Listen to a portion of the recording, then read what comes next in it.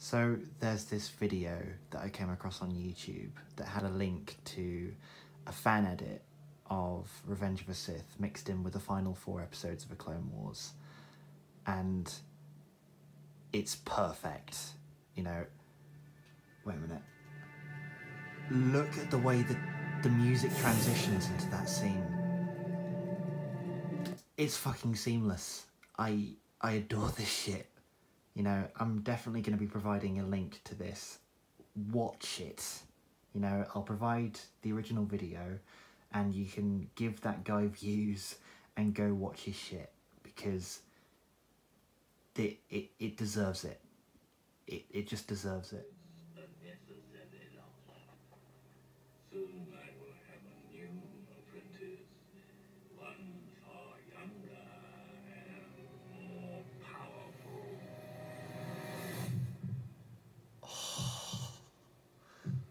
At this.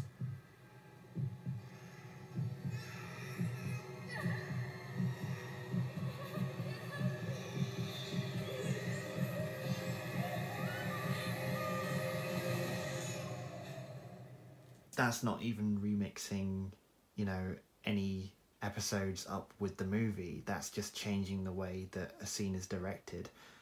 And I prefer this so much more. I mean, I fucking love the original version of Revenge of the Sith. You know, I'll stand by the fact that it's a thoroughly enjoyable film. But, but come on.